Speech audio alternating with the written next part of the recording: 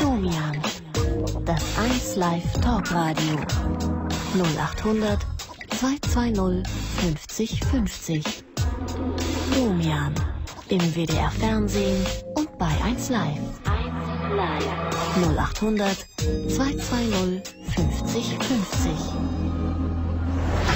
So, ihr Lieben, mit kleiner Verspätung sind wir da. Willkommen bei Domian, willkommen beim 1 Live Talk Radio. Wir haben eine freie Themennacht, wie immer in der Nacht von Mittwoch auf Donnerstag. Also, wenn ihr gerne mit mir sprechen wollt, ganz egal über was, dann meldet euch, ruft an unter 0800 220 50 50 oder mailt uns unter domian.wdr.de. Die erste Anruferin ist Stefanie und Stefanie ist 32 Jahre alt. Hallo Stefanie. Hallo Domian. Hallo Stefanie. Um was geht's bei dir? Ja, worum geht's? Ich habe ein Problem mit meinem Mann. Ja, und was ist das? Ja, was, was ist das? Also ich habe mitgekriegt, dass er mich betrügt, nicht sexuell, aber halt, ähm, er hat sich da auf einer Beziehung oder auf einer auf ein Mädchen eingelassen, Mhm. die ist 23 Jahre alt und er hat sie geküsst, hat sie nach Hause gefahren und ich weiß nicht, was ich davon halten soll. Äh, hat er dir das erzählt? Hat er das gebeichtet? Erstmal nicht. Also es war, es fing damit an, wir, also wir hatten Stress in unserer Beziehung. Also wir sind seit sieben Jahren sind wir zusammen, drei Jahre davon verheiratet. Also ich habe zwei Kinder mit in die Ehe gebracht, die auch zu ihrem Papa sagen. Und ja, es war mal ein Auf und Ab. Es fehlte an Spontanität, es fehlte an, an alles, also an, an Feinfühl, was zwischen Mann und Frau eben halt so ist. Ich habe mich dann zurückgezogen in meinem Schneckenhaus, weil man wurde über Tag nicht über, beachtet, sage ich jetzt mal als Frau. Aber abends im Bett musste man dann, Ach, Da das, sein, das ja. dann schon. ja, und wenn das dann nicht lief, dann hing der Haussegen wirklich schief. Also, Und das heißt, da war schon, da waren Spannungen bei euch in der, in der Beziehung. genau, Ähm, genau. wie, wie hat, das war gerade meine Frage, wie hast du das rausbekommen, dass er diesen Kontakt hat zu dieser 23-Jährigen? Er arbeitete mit ihr zusammen. Er hatte mit ihr zusammen Nachtwache. Mhm. Im Krankenhaus arbeiten die. Und ähm, ja, nachher hat sich das dann entwickelt durch Telefonate. Dann hat er sich, aber wie hast du das rausgekriegt? er hat es mir erzählt. Er hat es dir erzählt. ja, dass er sie kennengelernt hat. Mhm. Ja. Und dann hat er nur mit ihr Telefonate und dann hat er aber gesagt, er hat sich für uns entschieden, er bleibt bei uns. Mhm. Dann war 14 Tage wirklich gut. Und dann auf einmal ist er hier raus, sagt mir, ich liebe mich, also ich liebe dich. Und war dann auf dem Weg zu ihr. Also er wollte dann doch zu ihr. Wie er sagt zu dir, ich liebe dich Ja. und ist auf, dem- auf dem Weg zu ihr. Ja, und, und sagt dir das auch noch? ja. Nee, Das nicht. ich habe es rausgekriegt durch, durch Zufall. Ich habe ihn dann versucht anzurufen über Ja. Handy. Ja, dann war dann die ganze Zeit besetzt. ja, dann ist er dann irgendwann nach fünf Minuten, zehn Minuten ist er wieder dran. Mhm. Dann habe ich gesagt, du kommst sofort nach Hause. Ich glaube, wir haben was zu klären. Mhm. Und erst stritt das ab. Und dann hat er es doch dann zugegeben, dass er mit ihr telefoniert hat. Hat Also- aber, dass er sich mit ihr treffen wollte. Also ein Hin und Her. Ja. Wie ist der aktuelle Stand heute? Ja, Moment. heute, ähm, rede bitte nicht davon. Schluck es einfach, versuch es zu vergessen. Sagt Vertrau er. mir. Sagt er. Vertrau mir, ich weiß also, ich soll ihm Und, vertrauen. und er sagt, dass die Sache äh, jetzt endgültig beendet ist mit der, mit der jungen Frau. ja, Wie alt ist er eigentlich? er ist 39. 39. Du bist 32, das Mädchen, Mädchen ist gut, die junge Frau ist 23. Ja. Das ist natürlich jetzt äh, gravierend ein, ein, das Vertrauen erschüttert, ne? Ich, ich weiß nicht, ob ich ihm vertrauen kann. Ich habe Angst. Ähm, Verstehe ich. nicht ihn zu verlieren, alleine dazustehen, ganz bestimmt nicht, aber Angst, Angst weiter verletzt zu werden. Bist du denn, bist, bist du ganz sicher, dass da außer Küssen nichts gelaufen ist? Ganz sicher kann man doch gar Nee, nicht sein. bin ich nicht. Nee. Nee. Für mich stellt sich die Frage, es gab auch keine Aussprache. Er hat mir auf meine Fragen auch nicht geantwortet. Mhm. Warum musstest du sie nach Hause fahren? Warum musstest du in ihrer Wohnung? Warum musstest du sie küssen? Mhm. Warum musstest du ihr den Bauch streicheln? Warum musstest, musste es so weit kommen, wenn du dich doch für uns entschieden hast? Ich, ich finde äh, andere Fragen noch viel wichtiger. Nämlich, was er äh, in eurer Beziehung vermisst, was er zu kritisieren hat. Der Sex, das sagt er. ja. Mhm. Was, was, was gefällt ihm da nicht? Ähm, was ihm da nicht gefällt, die, die, die, die, ja, so oft wie, also es war nicht so oft, weil ich, ich wurde über den ganzen Tag wurde ich hingehalten. Also es war den ganzen Tag keine Zärtlichkeiten da, nichts. Und abends, ja, es, es funktioniert nicht auf Knopfdruck. Ja, ist klar. Mhm. Entschuldigung. Also es ist ihm zu wenig und es ist ihm nicht intensiv genug und abgefahren genug oder wie auch immer. Intensiv, also äh, sexuell hatten wir nie Probleme. Wenn wir miteinander geschlafen haben, war es immer schön. Nur es war halt nicht oft genug. Achso, es liegt an der Frequenz. Also es liegt daran, Genau. wie, dass es nicht oft genug Genau, stattfindet. genau. Mhm. Und mit den Kindern, es gab Streitigkeiten mit den Kindern, ähm, weil die halt eben nicht von ihm sind, aber er hat die Kinder mit großgezogen. Mhm. Mhm. In dem Sinne, es sind seine. Sie sagen auch Papa und es sind seine. Mhm. Nur halt als Mutter hat man immer so einen Beschützerinstinkt. Mhm. Ich verstehe es nicht. Mhm. Was würdest du an ihm denn noch so kritisieren, wenn du noch etwas nennen solltest? Was ich an ihn kritisieren, diese Art, wie er mit manchmal mit mir umgeht. Wie geht er mit dir um? ähm, mir zu sagen, verdräng es, vergess es. Es war nicht mit Gefühl. Also bezogen jetzt auf diese Sache. Ja, Mhm. ja. Ich meinte so ähm, grundsätzlich, so von, von seiner. Grundsätzlich gar nichts. Mhm. Grundsätzlich kann ich wirklich sagen, ich habe einen ganz tollen Mann. Mhm. Nur dieses frisst mich auf. Dieses frisst Ähm, mich auf. Wie lange, das ist mir gar nicht klar geworden, wie lange äh, zog sich dieses, ich nenne es mal Techtelmechtel mit den beiden hin? Über vier Wochen. Vier Wochen. Mhm. Äh, In all den Jahren, zehn Jahre seid ihr zusammen. Äh, Ist das das erste Mal, dass da was, was, was derartiges passiert ist? Ja. Mhm. Also ich habe ihm immer blind vertraut. Er konnte gehen und kommen, wann er wollte. So, und jetzt hat er gesagt, äh, ich habe mich entschieden für, für, für dich, für Stefanie und für die Kinder. Äh, diese Frau, diese 23-Jährige, ar- ist die immer noch in seinem Arbeitsumfeld? Ja. Das heißt, wenn er, wenn er zur Arbeit geht, musst du Angst haben, dass da Ja, wieder genau. irgendetwas. Äh, Genau. Sie sagte, mir, mir ist dieser Satz in den Ohren, den er mir sagte oder sie wiederholte, ähm, ich habe ja mit ihr gesprochen. Du hast mit ihr gesprochen. Ja, natürlich. Mhm. Ich sollte mich lösen von meinem Mann, also sie wird sowieso gewinnen. Also der Das, hat- sagt, das, das hat sie gesagt. ja, das hat er zu ihr gesagt, sie kann nur gewinnen. Äh, warum hast du den Kontakt gesucht zu, zu ihr? Weil ich ihm nicht mehr vertraut habe, Und was hast du sie gefragt? was sie möchte. Was Warum möchte sie sie? sich da reinstellt. Sie Ja. möchte meinen Mann. Sie möchte ihn. Ja. Mhm. Mhm. Und er redet nicht mit ihr. Ich habe ihm auch gesagt, hör mal, bring sie mir. Lass mich sie treffen, lass mich mit ihr reden. Vielleicht sind da Sachen, die du mir nicht sagen willst oder sagen kannst. Vielleicht kann sie mir die sagen. Mhm. Ich würde mich da gar nicht so äh, festsetzen auf diese Frau. Ich finde diese Frau äh, relativ zweitrangig, will ich dir sagen. Ich finde erstrangig dich und deinen Mann.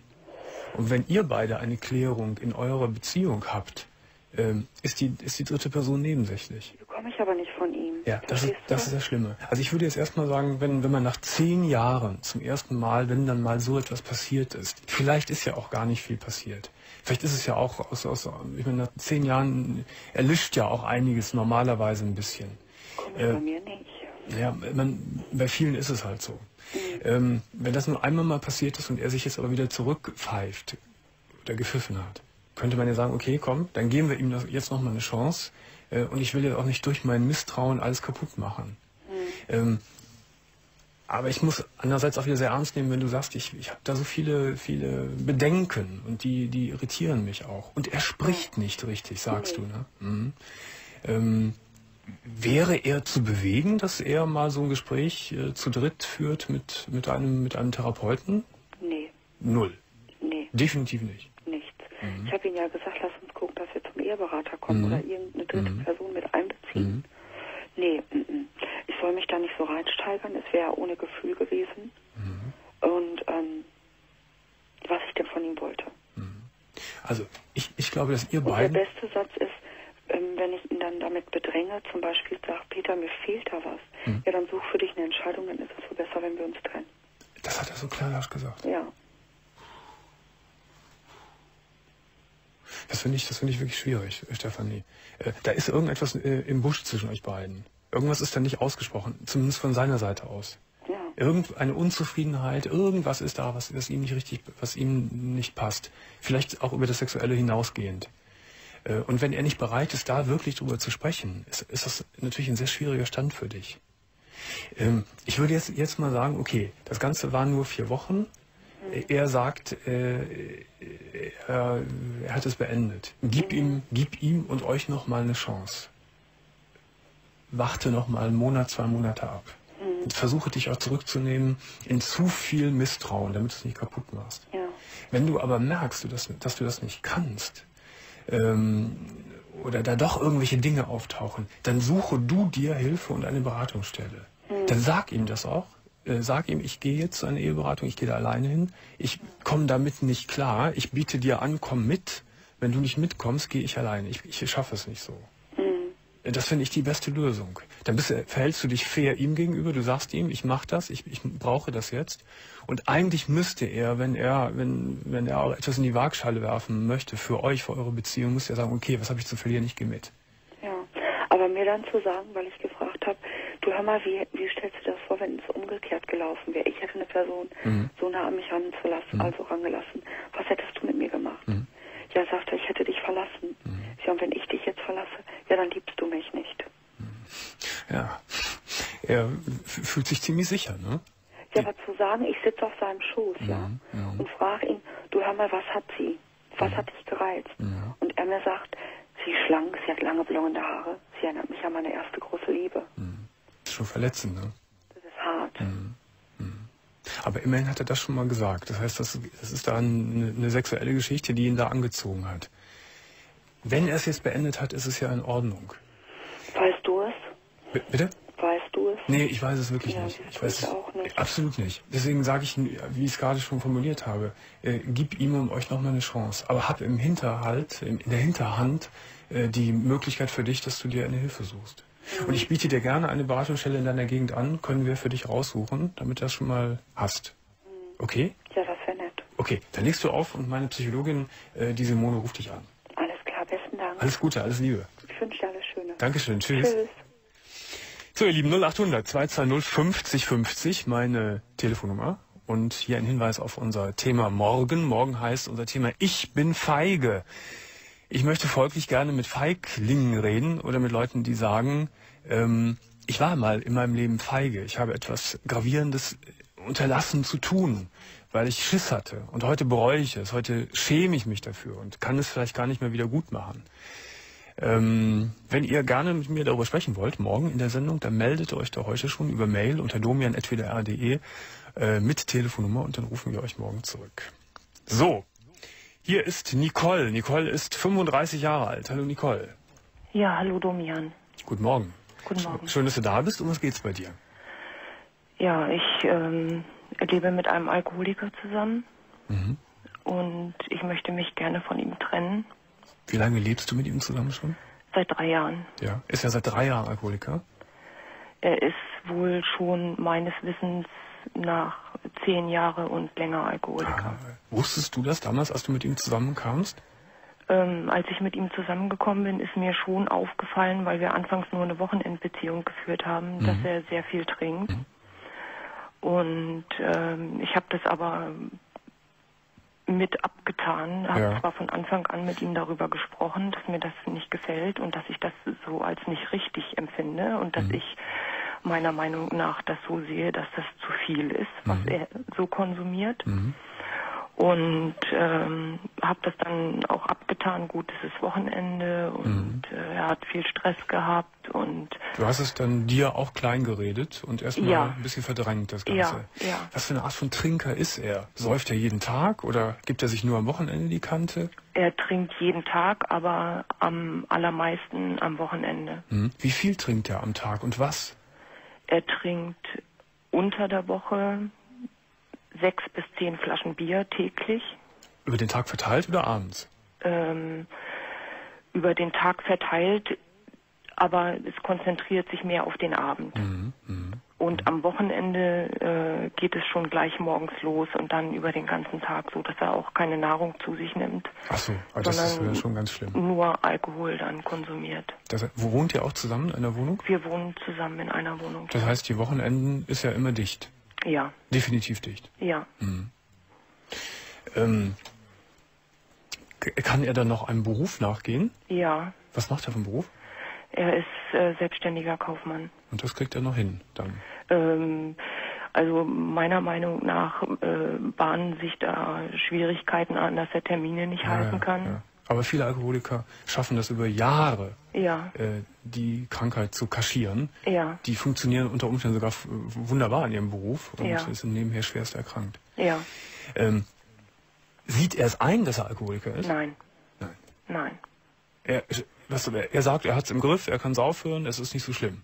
Ja, er, er, er sieht überhaupt nicht, dass, dass er, also er sieht das, was er konsumiert, sieht er als normal an. Mhm. Und wenn er das ganze Wochenende wirklich der Besoffene rumhängt, ist das auch normal? Für ihn ist das normal, ja. Mhm. Ja. Nur ähm, ich kann es für mich nicht mehr verantworten, Ja. weil er ähm, in meinen Augen ein Tyrann und Sadist ist. Dir gegenüber auch? Mir gegenüber und meinem Sohn aus erster Ehe. Ihr wohnt zu dritt zusammen? Wir wohnen zu vier zusammen. Wir haben gemeinsam eine Tochter noch so. von sechs Monaten. Wie alt? Also das eine Kind ist sechs Monate und der Sohn ist wie Und alt? der Sohn ist 18. 18 schon. Ja. Mhm. Äh, beschreib mal äh, ein, ein Beispiel seiner Tyrannei, seines Sadistentums. Ähm, es ist zum Beispiel so, dass er darauf besteht, dass er, egal wie spät es ist, wenn er nach Hause kommt, dass äh, pompöse Gerichte gekocht werden und wenn es mitten in der Nacht ist. Die du kochen musst. Ja. Mhm. Und äh, Wenn du es nicht machst, was dann? dann gibt's Theater Was? und äh, das ist dann auch so, dass dann hinterher die Küche dann noch äh, gereinigt werden muss und äh, wenn ich dann zu meinem Sohn sage, du, wenn es dann schon 22 Uhr oder später ist, äh, den Abwasch lassen wir heute stehen, das machen wir dann morgen, dass er dann hier durch die Wohnung läuft und das schmutzige Geschirr aus dem Fenster schmeißen möchte. Und auch schmeißt? Äh, kurz davor kann ich ihn abhalten, ja, aber äh, er schmeißt mitten in der Nacht mit den Türen. Er Ja. macht meinen Sohn fertig. Komm her, ich hau dir aufs Maul und äh, Tut er das auch dann ab und zu? Äh, nein, nein. Also, Also er hat, er hat schon, dich? nein, er hat schon mit erhobener Hand vor mir gestanden schon. Aber geschlagen hat er noch nicht. Nein. Also Tyrann verstehe ich jetzt, was du gerade als Beispiel genannt hast. Sadist hast du gesagt. Sadist ist ja, Ja. Noch, noch eine Nummer härter irgendwie. ja, das sehe ich so. Was äh, macht er da?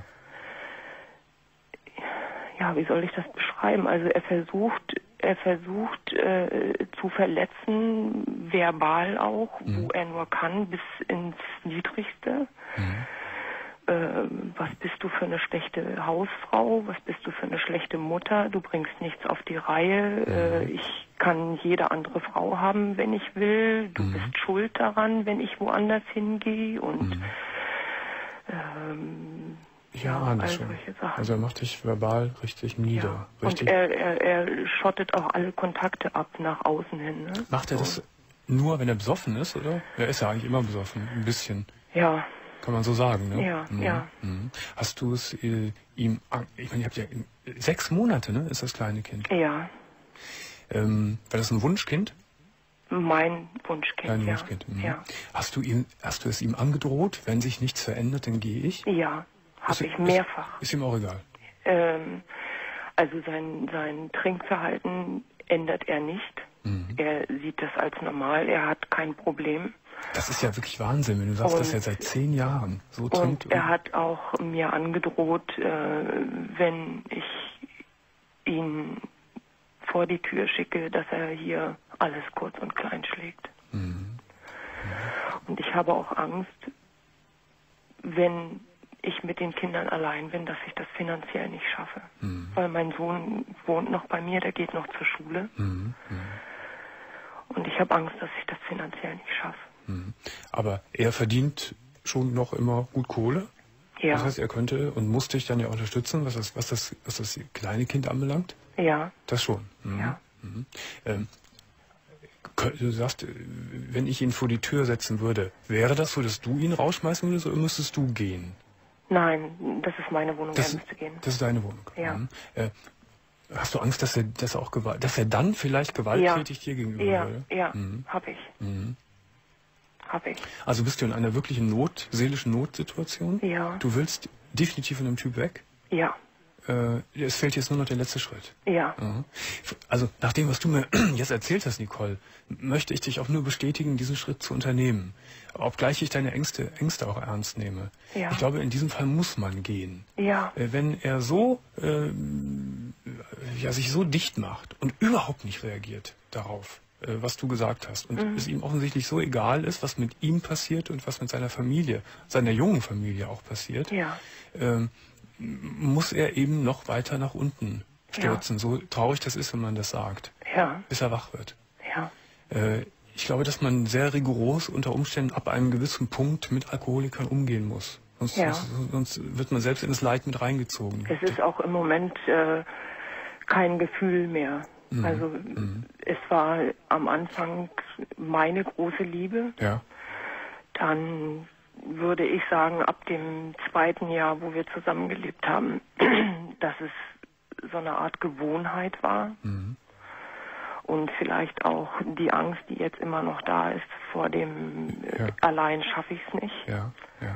Und äh, im Moment ist überhaupt kein Gefühl mehr. Nur noch nur noch Angst Mhm. Also- vor, vor dem vor dem Wochenende Die, wieder. Ne? die Vorstellung, wenn er weg wäre, ist für dich eine große Erleichterung. Ja, Ja. Mhm. Ja. So, ich sage jetzt nochmal, ich finde, dass du da, dass du da weg musst. ja, Ähm, ich möchte jetzt gerne, dass du mit meiner Psychologin sprichst. ja, Äh, grundsätzlich und ich möchte, dass meine Psychologin dir gleich auch nochmal ein paar Anlauf-Telefonnummern Telefonnummern gibt, Adressen, zum Beispiel auch Frauen, äh, Telefone, Nottelefone äh, und noch von anderen Organisationen, die Frauen beraten, die in deiner Lage sind. Ja. Wo du mit Fachleuten zu tun hast, die auch mit den Ängsten der Frauen umgehen können, die Angst, dass der Typ den Frauen dann was tut und so weiter. Ja. Und wo du auch eine unter Umständen eine, eine ordentliche finan- finanzielle Beratung bekommst. Ja. Ähm, das musst du jetzt alles einfädeln. Da gibt es genügend Hilfestellungen, Hilfeleistungen für Frauen, die in ähnlicher Lage sind wie du. Ja. Das musst du in Anspruch nehmen. Ja. Und dann schaffst du es auch. Und dann musst du da auch weg. ja. Ich muss es wegen ja. meiner Kinder. Du musst es wegen der Kinder machen. Ja. Wegen deines Ja. älteren äh, Sohnes und auch wegen des kleinen ja, Kindes. ja, So, und wenn wir tun das, was wir jetzt tun können. Wir können Ja. dich mit einigen, einigen Anlaufstellen versorgen. Und Ja. dann musst du weiter aktiv sein. Du warst ja auch schon aktiv, indem du hier angerufen hast. Ja. Du bist auf dem richtigen Wege, finde ich. ja, So, liebe Nicole, du legst bitte auf und Ja. wir rufen dich gleich wieder an. ja. Danke schön. Alles Liebe, alles Gute. Ja, tschüss. Tschüss. So, ihr Lieben, eine, mal, einfach mal eine Ausnahme. Aber wirklich nur eine Ausnahme. Es ist jetzt nicht, dass es einreißt. Äh, ich gratuliere ganz einfach jetzt mal zum Geburtstag der Sandra. Hallo Sandra, wo immer du auch uns jetzt zuschaust oder zuhörst, du wirst, bist gerade 18 Jahre äh, geworden. Und du hast einen sehr netten Freund, der heißt Sebastian.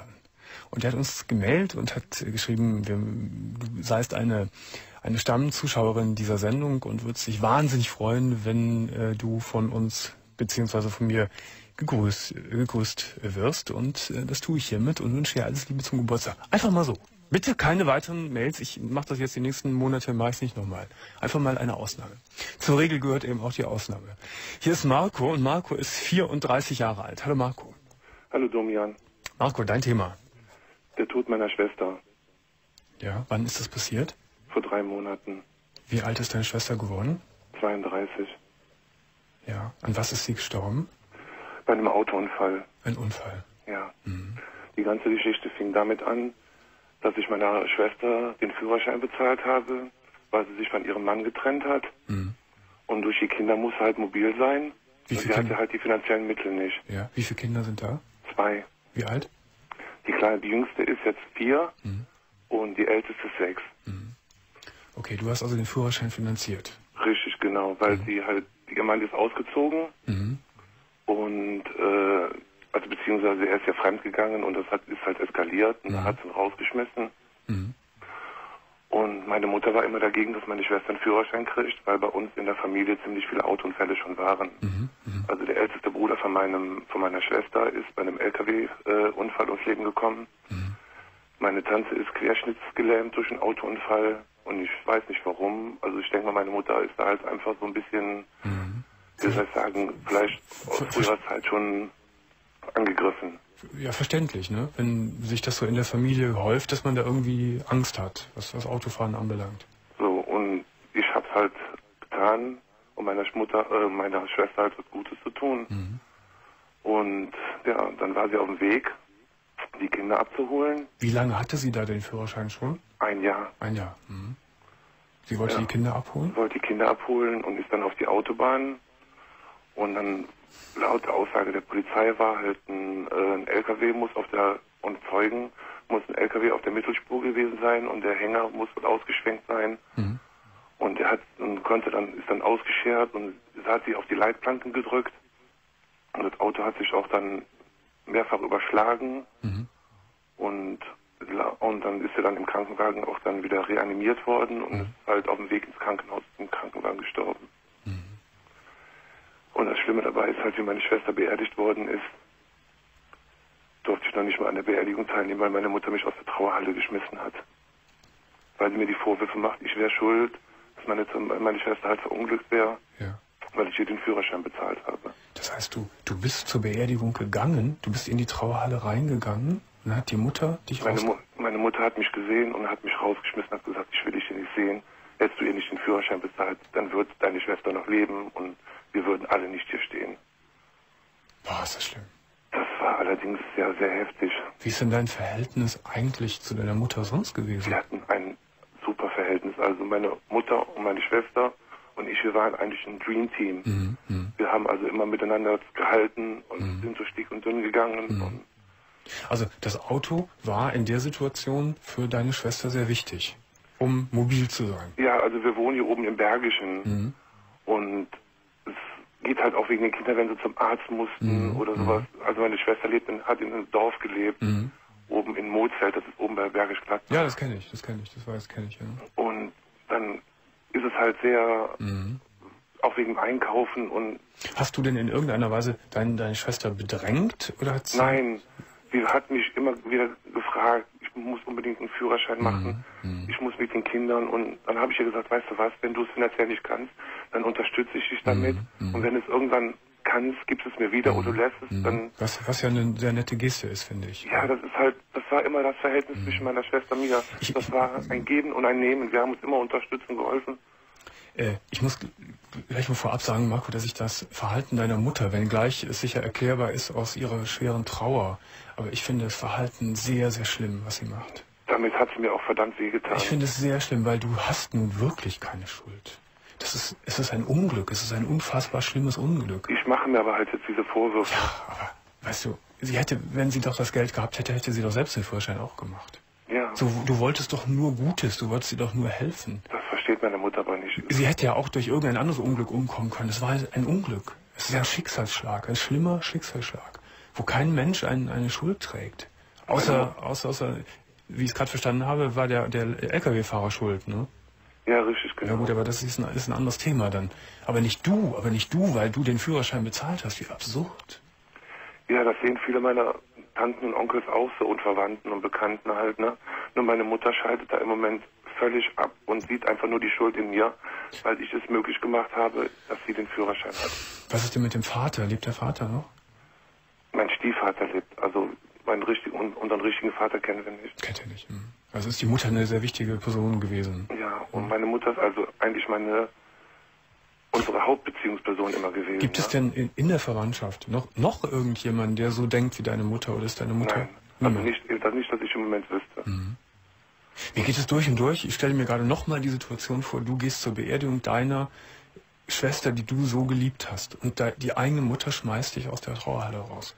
Das tut auch verdammt weh. Das ist unglaublich. Das ist unglaublich. Und ich habe also auch, ich bin eigentlich schon ganz froh, ich habe meine Lebensgefährtin, Mhm. die steht mir also voll im Rücken und die ist im Moment rund um die Uhr für mich da und ich glaube, wenn die nicht da wäre, dann, Mhm. weiß nicht, dann, Ja, weil der Schmerz ist ja schon allein unermesslich, einen so geliebten Menschen zu verlieren. Und dann auch noch belastet zu werden mit der Schuld und quasi von der Mutter verstoßen zu werden. Das, Ja. das ist ja eine, Potenzierung äh, ohnegleichen. ich bin ja auch im Moment auch halt deswegen auch krankgeschrieben. Ich bin also auch, ich weiß nicht, meine Lebensgefährtin hat halt gesagt, ich soll zum Psycholo in psychologische Mhm. Behandlung gehen und halt auch darüber reden.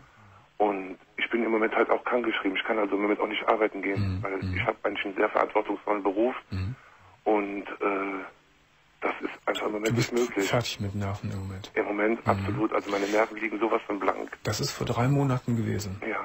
Äh, Gab es in diesen drei Monaten einen Kontakt zwischen dir und deiner Mutter? Nein, absolut Gar nichts. Nein. Ich, meine, meine Freundin hat halt öfters probiert anzurufen und sobald sie nur gehört hat, wer am Telefon war, hat sie sofort wieder aufgelegt. Das ist hart. Das ist, Mm.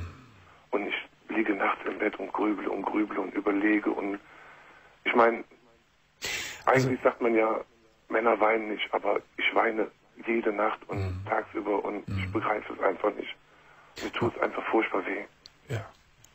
Das kann ich mir gut vorstellen. Und das ist auch völlig normal. Ich bin ein, ein ganz unbeteiligter Mensch an der Sache, ein, ein Fremder für dich, für euch.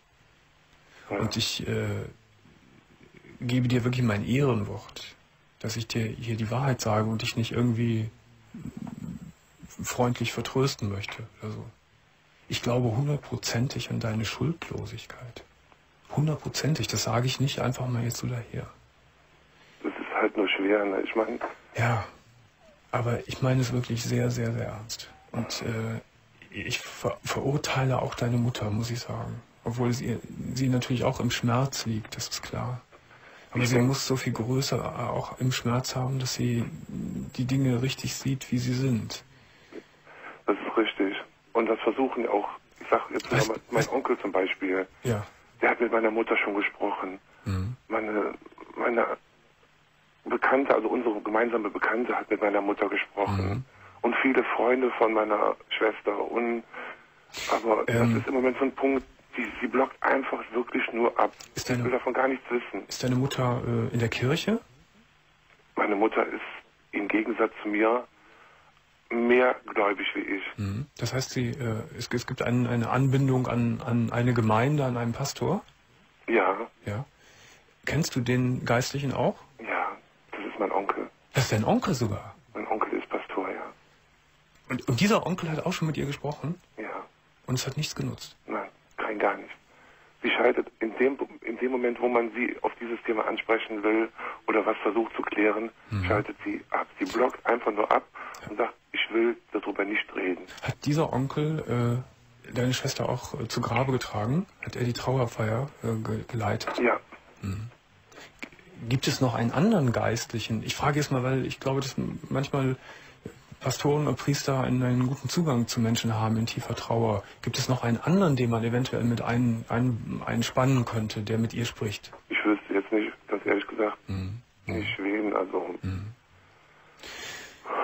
So, wenn das jetzt alles nichts nutzt und so viele Aktivitäten schon stattfinden, glaube ich, ist es an, an, in erster Linie wichtig, dass, dass du dich stabilisierst. Und wenn deine Freundin, die dich ja jetzt am besten kennt, das auch schon vorgeschlagen hat, dass du, dass du dir psychologische Hilfe suchen sollst, dann finde ich das auch, Marco. Also wie gesagt, ich bin im Moment in psychologischer Behandlung. Ach, du bist jetzt schon. Ich bin schon, ja. Mhm. Ich habe jetzt äh, seit anderthalb Monaten Mhm. habe ich also äh, pro Woche zwei Sitzungen, Mhm. wo ich hingehe, Das ist gut, ja. was mir eigentlich auch sehr hilft. Mhm. Aber dann ist wieder der Punkt, sobald ich diese Praxis verlasse Mhm. Mhm. und zu Hause sitze, dann fängt es wieder von neuem Mhm. an zu arbeiten. Und Mhm. es ist immer ein Teil von mir aus meinem Leben verschwunden, der mir sehr, sehr wichtig war. Mhm. Und es ist halt nicht einfach. Sprich doch mal mit deinem Psychologen äh, über, wie, wie er es einschätzt, ob es in dem Fall vielleicht sinnvoll wäre, mal ein paar Wochen einen stationären Aufenthalt zu, zu forcieren. Wenn du das, wenn du das würdest wollen. Ja, er hat mir auch schon, er hat mir auch schon vorgeschlagen, meine Mutter zu kontaktieren Ja. und zu einem gemeinsamen Gespräch. Ja, ja. Ich habe ihm alles Mögliche gegeben, was er braucht, um meine Mutter zu kontaktieren. Mhm. Und bis jetzt war noch keinerlei Erfolg. Mhm. Ich glaube, das ist im Moment auch sinnlos, wie du das beschreibst. Äh, Das wird zu nichts führen. Es ist wichtig, dass, dass, dass du erstmal für dich ein bisschen auf die Beine kommst. Wenn sie so, so dicht macht, äh, wenn der Pastor, der Psychologe und alle, wenn das nicht Ich, ich funktioniert. kenne sie einfach nicht wieder. Das Mhm. ist wie, als wenn bei ihr ein- eine Jalousie runtergefallen ist Mhm. und da ist kein Durchkommen. Ich, wenn, wenn du schon in guter psychologischer Behandlung bist, wäre vielleicht auch noch eine, eine Überlegung, ähm, wir gucken mal nach, ob, ob es irgendwas bei euch in der Gegend gibt. Wenn du noch eine Selbsthilfegruppe aufsuchen würdest, wärst du dazu bereit? Natürlich, ich will alles tun, um wieder Mhm. mein Leben eigentlich einigermaßen vernünftig wieder zu führen. Okay. Ich kann auch nicht ewig von der Arbeit wegbleiben. Das, Dann machen wir es mal so, wir rufen dich mal jetzt sofort wieder an. Du legst auf Ja. und wir schauen mal nach, äh, ob wir da irgendwie was finden für dich. Ansonsten ist natürlich die Sache mit der, mit der psychologischen Geschichte, die du da angefangen hast, finde ich schon mal sehr richtig und sehr gut. Und ich möchte nochmal zum Ende betonen, dass ich deinen Schmerz sehr, sehr nachvollziehen kann und ich aber hundertprozentig überzeugt bin, dass du keine Schuld trägst, Marco. gut, Jetzt legst du bitte auf und wir rufen dich gleich nochmal an. gut, alles klar. Einen Viel Kraft und alles Gute. Und übrigens eine Sendung, ich gucke sie jeden Abend, ich finde sie absolut spitze. Sehr nett von dir. Dankeschön, Marco. Tschüss. Hier ist Bastian und Bastian ist 23. Hallo Bastian. Hallo Jürgen. Dein Thema. Mein Thema, ja, also ich bin pädophil, ich stehe auf äh, kleine Mädchen. Mhm. Ja, das ist Immer schon? eigen, Du bist wie alt jetzt? 23 bist du? ja. Mhm. Also das ist eigentlich ein Tabuthema, Ja. aber ich, ich weiß nicht, an, an wen ich mich sonst wenden soll. Ich, ich gucke seit Jahren deine Sendung und ich bin großer Fan von dir. Mhm. Und ähm, wenn mir jemand helfen kann, dann du, weil ich kann es selber nicht so richtig akzeptieren, aber ich habe Tag für Tag, Nacht für Nacht ähm, pädophile Gedanken in meinem Kopf und, und äh, die verschwinden nicht wieder. Du hast sexuelle Fantasien mit Kindern, mit kleinen Mädchen. Richtig. Mhm. Äh, wie alt äh, sind die Kinder in deinen Fantasien? Die sind von, von 10 bis, bis 13 Jahren, Mhm. also präpubertäres Alter. Hast du je in deinem Leben äh, auch nur ansatzweise diese Fantasien in die Wirklichkeit umgesetzt, sie ausgelebt? Ansatzweise ja. Also ich habe, ich habe mal gesagt, äh, dass das Geile oder das Positive am Erwachsensein ist, dass man auf Kinder so schön manipulativ einwirken kann. Es ist aber nie zu irgendwelchen Handlungen gekommen. Das heißt, du hast nie ein Kind berührt? Nein, nein, nein, nein, nein, nein. Definitiv nicht. Nicht, Du nein, hast dich nicht an einem Kind vergangen bislang? Nein. Mhm. nein. Es ist definitiv bisher in der Fantasie alles abgelaufen. Richtig. Ich habe Es hat dich in der Fantasie sehr erregt, aber du hast noch nie ein, ich frage es jetzt nochmal ganz klar, du hast noch nie ein Kind angepackt und, und eine sexuelle Handlung an einem Kind vollzogen. nein, niemals. Mhm. Ich verachte auch äh, bis aufs Blut die Leute, die ähm, irgendwelchen Kindern auf Schulwegen auflauern, diese in ihr Auto zerren, eventuell vergewaltigen und danach, weil, äh, weil sie Angst kriegen, diese Kinder umbringen. Also das ist äh, eine Tatsache, die, die bei mir Verachtung auslöst, auslöst die äh, grenzenlos ist. Ähm, jetzt bist du 23. Äh, in der Regel wacht ja so die sexuelle Lust in einem so vor der Pubertät auf. So Ja. mit 12 oder so. War es von Anfang an bei dir so, dass du auf immer sehr viel Jüngere gestanden hast oder ist das eine Entwicklung der letzten Jahre erst? Ja, also ich habe in, in der Pubertät schon festgestellt, dass ich äh, auf, auf jüngere Mädchen stand. Ähm, ich, das, das hat sich in, in den letzten Jahren nicht wirklich weiterentwickelt. Ich meine, die, die Fantasien sind, sind ein bisschen, ja, habe ich, sind, sind ein bisschen ausgearbeiteter und ein bisschen detaillierter. Aber ähm, als zwölfjähriger Junge stand ich jetzt natürlich nicht auf sechsjährige Mädchen. Das ist klar, mit zwölf hatte ich, ein paar ganz andere Gedanken. Mhm. Aber es ist dann so stehen geblieben, dass du dann immer auf die Jüngeren äh, weiter ein Auge geworfen Richtig. hast, je älter du, je älter du wurdest. Genau, richtig. Hast du- Und auf dem Alter von 10 bis, bis 13, 14 ist es eben halt jetzt stehen geblieben. Mhm. Hast du mal eine Beziehung gehabt mit einer äh, Gleichaltrigen oder etwas, etwas nur ein wenig jüngeren Frau? Habe ich immer noch, ja. Hast du im Moment sogar? Ja, das, das mittlerweile seit sechs Jahren. Ach, du hast eine, du bist in einer festen Ja. Beziehung. Mhm. Ja, das ist auch wieder irgendwie so ein Faktor, der die ganze Sache kompliziert. Also ich habe auch ein relativ normales Sexualleben. Wie alt ist deine Freundin? 22, Mhm. ein Jahr jünger als ich. Also ich habe ein relativ normales Sexualleben. Ja. Aber wenn wir eben halt gerade dabei sind und gerade irgendwas praktizieren, dann habe ich eben halt immer den Gedanken im Hinterkopf, Mhm. ähm, sie wäre zehn Jahre jünger. Und Ist es für dich eine Verlockung, ins Internet zu gehen und dir solche Sachen zu suchen, wo äh, sexuelle Aktionen mit Kindern gezeigt werden? jein. Einerseits würde es mich natürlich schon interessieren, Hast du schon mal äh, gemacht? mir, mir das anzusehen, aber auf der anderen Seite bin ich ja clever genug, mir mich mit so einer Illegalität nicht, nicht auszusetzen. Das heißt, du hast bisher äh, noch keine Kinderpornografie konsumiert. Nein, nein, nein, nein, nein, auf keinen Fall. Also kann man sagen, dass du bislang ist das ist das eine Sache, die die alles in der, die die absolut nur in deinem Kopf stattfindet, Richtig. ohne jeglichen Bezug, sei es zu Menschen oder sei es zu pornografischen Werken oder oder was auch Genau. immer. Mhm. Genau, das, was in meinem Kopf stattfindet, sind letzten Endes fiktive Stories. Mhm. Hast Und- du hast du hast du hast treibt dich die Angst um? Am Anfang klang das für mich so, dass je je je mehr du wartest und je älter du wirst, dass du dass dieser Drang auch immer stärker wird. Richtig. Ich habe Angst davor, irgendetwas mal zu tun, was ich irgendwann mal bereuen werde, ja. Wer- Wer weiß von dieser Veranlagung? Keiner. Auch deine Freundin nicht. Nein. Und die, die Not und die Ausweglosigkeit hatte ich es veranlasst, hier anzurufen. Genau. Mhm. Weil ich, es ist jetzt ein bisschen suspekt, also ich habe mich Angst, ich habe Angst, mich in irgendwie äh, professionelle Hilfe zu begeben, weil ich mich anderen Leuten nicht gerne öffne. Mhm. Trotzdem rufe ich bei dir in der Sendung. Also, also das ist ein bisschen, ein bisschen suspekt. Mhm. Aber ähm, ich habe noch eine gewisse Anonymität, die ich wahren kann. Natürlich, natürlich. Vor allen Dingen, ja, Wenn vor allen Dingen bin ich eben halt im Referendariat. Das heißt, ich werde Lehrer Grundschullehramt. Mhm. Und das ist noch äh, natürlich der der Punkt, der mich am meisten irgendwo Mhm. stört. Du, du kennst mich, hast du gerade gesagt. Ja, Du kennst diese Sendung. ja. Ich Äh, weiß, was du mir jetzt sagen möchtest. Ja, dann weißt du auch, welche Meinung ich habe. Ja. Äh, aber ich will mal vor, vorher vor, vorweg schicken, dass ich das auch sehr gut finde, dass du dich hier meldest. Ja, Äh, ich habe, das- wie gesagt, sonst keinen anderen Ansatz. Ja, ich, irgendwo. das finde ich. Also äh, es wird jetzt wahrscheinlich viele Leute geben, die direkt das, die Keule rausholen und auf dich einschlagen wollen. Mhm. Ähm, ich finde, dass du dich, du hast noch keine Straftat begangen. Nein, Du äh, beobachtest dich selbst und hast Angst vor dir selbst, so kann man es sagen. richtig, genau. So. Und Das du, du, und du meldest dich hier und sagst, ich weiß nicht mehr weiter. Ich habe irgendwie Angst, irgendwie was zu tun, was, was ich eigentlich nicht tun will, aber ich habe den Trieb danach Genau. äh, und weiß nicht, wohin ich mich wenden soll. So, das, das finde ich erstmal gut, dass du das getan hast. Das will ich mal festhalten. Okay. Ähm, das nächste ist, was ich dir jetzt sagen werde, das wirst du wissen. Äh, dass ich finde, dass du alles in der Welt jetzt in Bewegung setzen musst, vor allen Dingen auch nach unserem Gespräch. Äh, dass du diesen Trieb in den Griff bekommst, dass der raus aus dir, dass der wegtherapiert wird. Ich meine, die Tatsache, dass ich schon mal angerufen habe, ist ja schon mal ein erster Schritt. Das finde ich auch. Ja, das finde ich auch. Und wenn du dich zu unternehmen. so und wenn du dich an, an einen erfahrenen, da sind wir dir gerne bereit, wirklich zu helfen, an einen fahr- erfahrenen Therapeuten, Sexualtherapeuten wendest, äh, der unterliegt der Schweigepflicht. Das ist wie ein Arzt. Das ist ein Vier-Augen-Gespräch. Da passiert dir überhaupt gar nichts.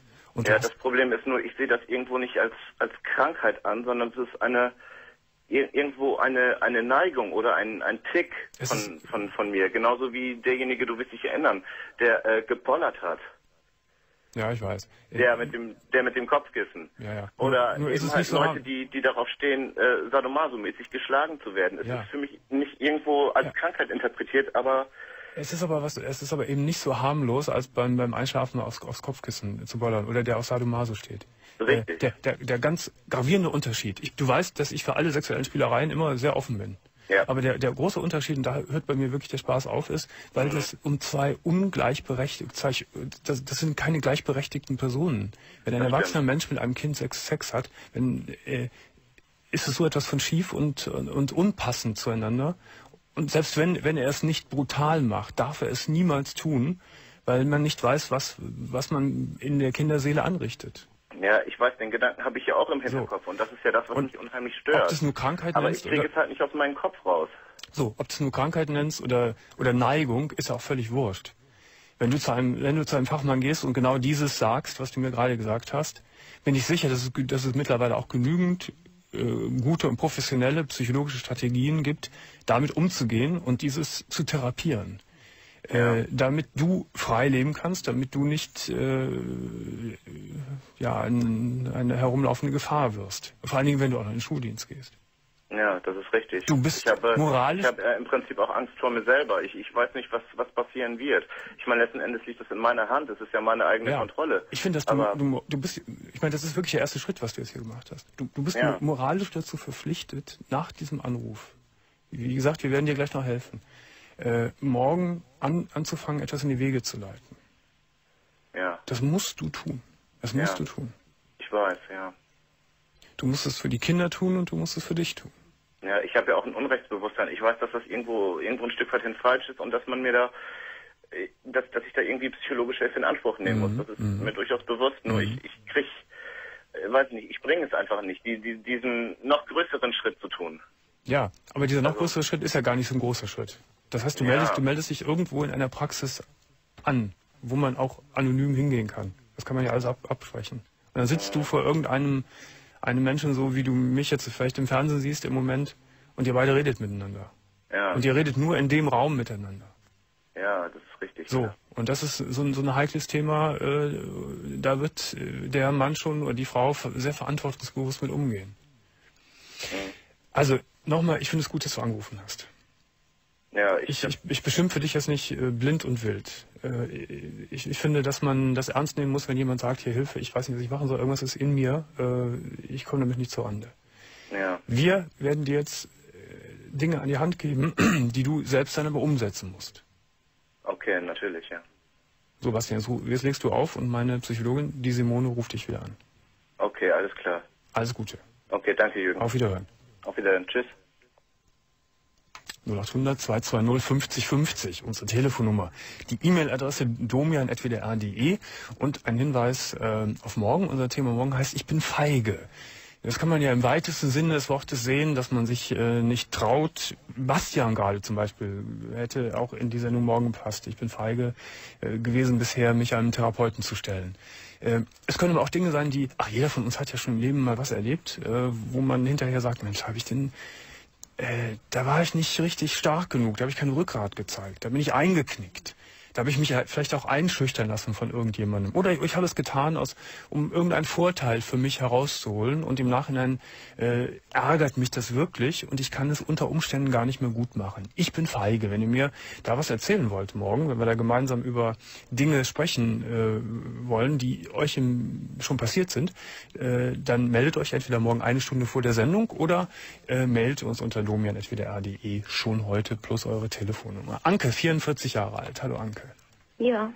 Hallo? Hallo Anke. Ich höre dich gut. Ich hoffe, du mich auch. Ja. Ja. Um was geht's denn bei dir, Anke? Ich bin seit ungefähr 22 Jahren verheiratet, habe drei Kinder Mhm. und bin eigentlich sehr unglücklich in Bezug auf meinen Mann. Die Familie möchte ich irgendwo gern behalten, Warum bist du, un warum bist du unglücklich in Bezug auf deinen Mann? weil ich äh, das auch irgendwo zu spät gemerkt habe, dass ich ihn eigentlich gar nicht liebe. Dass ich vorher eigentlich, es war sozusagen der erste Mann insgesamt. Ich hatte vorher nur mal ganz in der Jugend mal einen Freund, aber eigentlich auch in sexueller Hinsicht eigentlich der erste und einzigste Mann. Ja. Hatte irgendwo wahrscheinlich zu sehr Angst, alleine zu sein und habe das irgendwie gar nicht gemerkt. Seit wie vielen Jahren, so über den Daumen gepeilt, weißt du schon, dass du ihn nicht liebst? Die Kinder waren noch klein und als wir uns gestritten haben, und so habe ich mir immer gedacht, wenn die Kinder groß sind, dann gehe ich. Sag Es mir mal eine ging- Zahl, damit ich das. Also ihr seid 22 Jahre zusammen und seit wie Äh, vielen Jahren? Das jüngste, äh, beim jüngsten Kind, das ist 14, dachte ich mir schon, also ich hätte Mhm. das alles nicht machen sollen. Das ist eine verdammt lange Zeit, ne? Ja. 14 Jahre? Ich meine, wir kommen so ein bisschen, wir kommen so schon miteinander klar, aber sobald es ans Eingemachte geht oder wenn es wirklich drauf ankommt, dann merke ich das einfach, dass ich ihn nicht liebe. Am Anfang dachte ich immer, es liegt an ihn, er beachtet mich nicht genug oder Was heißt das, wenn es solche Sachen. Du sagst, wenn es ans, wenn's ans Eingemachte geht, dann merke ich das. Was ist zum Beispiel, was wäre das? Ja, eigentlich auch in sexueller Beziehung hat es eigentlich nie, zumindest auch von meiner Seite, nie wirklich geklappt. Manchmal ging's, aber im Grunde genommen muss ich heute sagen, mit dem, was ich weiß, und heute weiß ich, dass es eigentlich nie geklappt hat, richtig. Schlaft ihr heute auch noch miteinander? Ja, aber Ganz selten und ganz routiniert. Nee, nee, er ist nur am Wochenende da und eigentlich, mir bringt's eigentlich überhaupt nichts, muss ich ehrlich sagen. Ein Kind ist 14 Jahre alt und das andere? Ja, 17 und, Und das dritte? 20 und 20. Und 20. Mhm. Und Jetzt da, ich habe irgendwie immer, ich möchte immer schauen, dass noch so lange geht, bis die Kinder eben aus dem Haus sind. Aber manchmal macht's mich ganz schön fertig. Du bist unglücklich. Eigentlich ja. Ja. Und die Kinder sind ja nun wirklich gut aus dem Gröbsten raus. Ne? Ja, aber ich weiß genau, wenn wir uns trennen, ähm, da würde so eine Hassliebe von ihm ausgehen. Er sagt immer, er möchte mich nicht verlieren. Da würde so eine Hassliebe ausgehen, dass ich Angst habe, dass er die Kinder als Druckmittel nimmt. Es war auch so schon mal, als wir uns gestritten haben, da wollte er den einen Sohn bestrafen für was, wo ich getan habe, sozusagen, um mir weh zu tun. Ja, Die Kinder wissen auch nichts davon. Ich meine, irgendwo werden sie es vielleicht auch mitkriegen. Na, die Älteren werden das schon mitbekommen haben. Die werden es schon wittern irgendwie. Streitet Ja. ihr auch öfters oder ist es einfach eine schlechte Atmosphäre, eine kalte Atmosphäre? Doch, manchmal streiten wir auch, aber Gibt es ich überhaupt glaube, dass nach außen hin die wenigsten Leute das vermuten. Ja, aber die Kinder, als Kinder, als, als Kind kriegt man das schon so mit, ob Mama und Papa richtig innig sind oder ob da irgendwas Ja. nicht stimmt. Wahrscheinlich schon, ja. Hast du mit ihm äh, so sehr offen darüber gesprochen, schon über das Thema Trennung? Also eigentlich möchte ich mich noch nicht trennen. Ich denke, weil ich einfach irgendwo dran denke, an den Kindern und solange ich jetzt alleine bin und jetzt nicht irgendwie einen anderen Partner fest zur Seite habe, glaube ich auch gar nicht, dass ich das auf die Reihe kriege. Unter anderem bin ich finanziell total von ihm abhängig. Na gut, er müsste kommt dich unterstützen. dazu. Das kommt auch noch dazu. Und so ungefähr alle halb Jahr treibt er mich so sehr in die Enge, dass er zu mir sagt, ich tue nicht genug für ihn oder andere Leute sind mir wichtiger und bombardiert mich mit so Sachen, dass ich dann wirklich ausspuck und sage, ähm, für mich ist das alles nur ein Durchhalten. Und dann ist er zwei Wochen traurig und dann tut er wieder so, als wäre alles in Ordnung. Weißt du, Anke, was ich für einen Eindruck habe von dir, dass du immer, immer wieder runterschluckst und immer wieder zurückgehst. Dass du sehr viel Angst hast, ähm, sehr viel Sorgen hast und dich immer wieder zurücknimmst und immer neue Gründe vielleicht siehst, warum du nicht auch mal einen, einen Schritt in ein für dich gutes Leben wagen solltest. Ich finde das zum Beispiel mit den Kindern kein Argument. Äh, Der Kleinste, das Kleinste, der, die ist 14 Jahre alt, hast du. Ja, Äh, da ist er schon so erwachsen, dass man das wunderbar ähm, organisieren kann und hinkriegen kann. Ähm, die anderen beiden sind ja so, sowieso quasi aus dem Haus. Wo wohnen die noch bei euch? Äh, eine ist aus dem Haus, aber der andere, der macht in zwei Jahren Abituren und Ja. so lange wird er auf jeden Fall noch da sein. Und was das Aber- Finanzielle anbelangt, äh, du wärst nicht die erste Ehefrau, äh, die mit drei Kindern sich von ihrem Mann trennt und äh, wo es auch erstmal genügend Mittel und Möglichkeiten gibt, äh, dass du über die Runden kommst.